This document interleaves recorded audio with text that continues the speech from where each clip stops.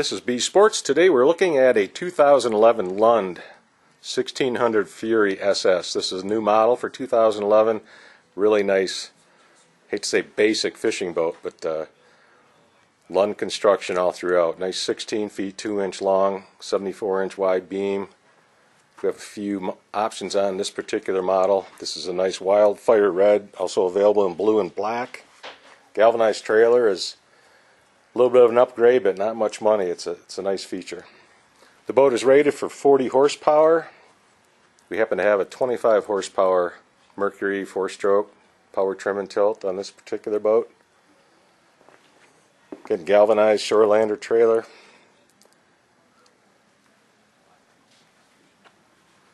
All vinyl floor.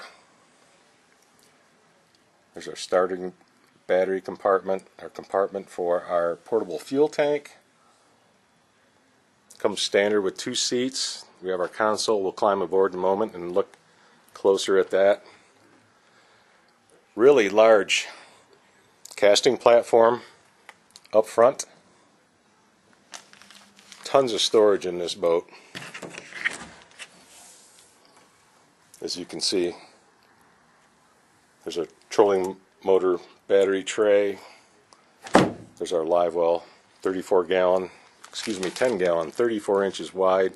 We've got a horn on this boat. A nice option. Does have the Lund patented IPS hull.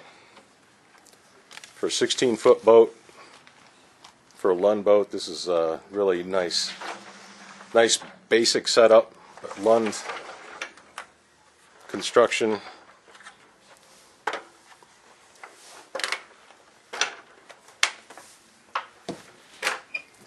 And we'll climb aboard, and again, in the rear, there's our splash pan in the back, 20 inch tall transom, starting battery, access to the bilge pump, live well pump, etc. Nav lights are standard. We have rod storage, starboard and port side, holds seven foot rods on both sides on this boat.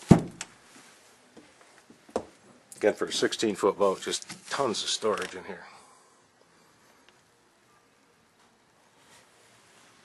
Built-in cup holders, as you see.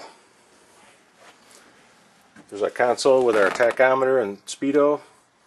We've got a Humminbird P160 graph, just a nice basic black and white graph. That's an option, but um, a great value. We've got our nav light switches, bilge pump, and our live well switch, and then our fuses, of course our horn button.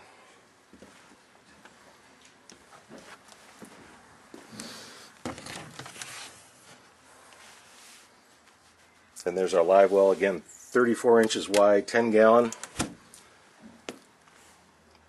Very large for front casting deck.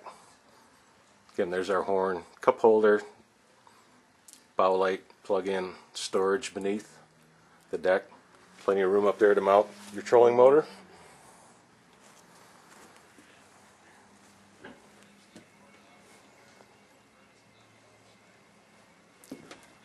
Nice layout.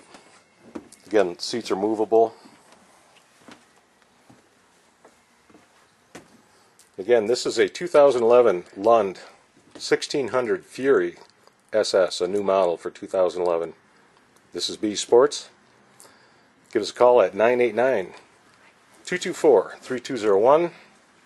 Toll free 1 800 233 7720. Or see us on the web at www.bees-sports.com.